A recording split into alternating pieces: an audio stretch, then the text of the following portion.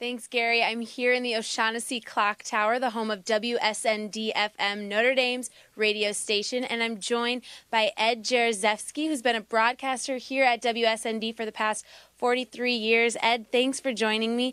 Tell us a little bit about WSND. What type of programming do you guys offer? WSND is an educational station. It was put on the air to offer some alternative programming that was not available in the area and from other broadcasters. We do classical music, uh, jazz, uh, some reggae, Celtic music, uh, Broadway tunes, uh, a little bit of popular non-rock tunes like Frank Sinatra, and a few other different things on the air we've, we've, we've like dabbled into over the years.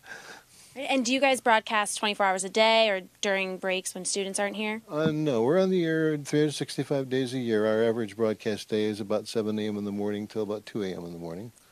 And tell us a little bit about how um, the O'Shaughnessy Clock Tower became WSND's home. Uh, WSND was originally in the field house, the basketball arena, in one little corner of it. And when the building was built, uh, they approached Father Hesburgh, and Father Hesburgh said, "You guys want the clock tower?" And so here we are, and that's when uh, the clock tower became the home of broadcasting.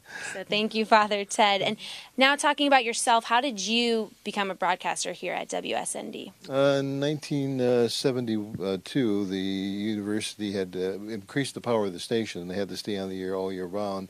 The students needed some help during the summer, and so they called in.